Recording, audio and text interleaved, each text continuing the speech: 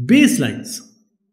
So baseline, whenever we start running for 100 meters, there is always a start line. So here we are talking about that start line. This is the baseline. So the IEEE defines the baseline like this. This is uh, 610.12 1990. So it is a specification or a product that has been formally reviewed and agreed upon. This is very important.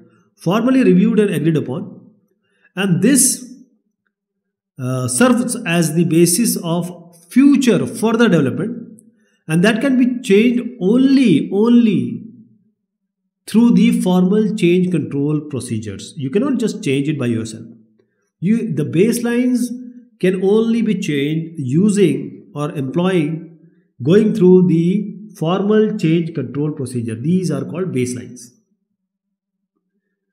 A baseline act as a milestone in the development of software or the web app or the mobile app that is marked by the delivery of one or more software configuration items SCI that is say a SRS say a design document and the approval of these SCIs that is obtained through a proper formal technical review.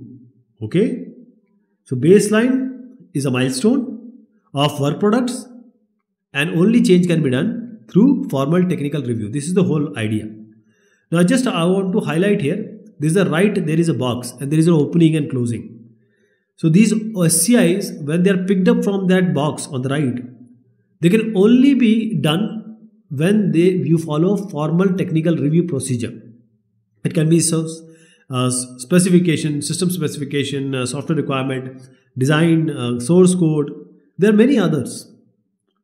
So this project database or the repository is actually having your baselines and you need to change it. You need to follow a proper formal procedure because this is the basis. This is the basic definition of a baseline. Once it has been created, it cannot be changed. It can only be changed when there is a proper change and that change has to be accepted uh, uh, through the proper channel knowing the cost and effort estimations for that.